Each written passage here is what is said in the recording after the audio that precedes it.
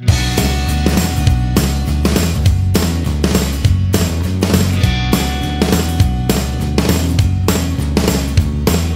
sitting in a room made up of only big white walls.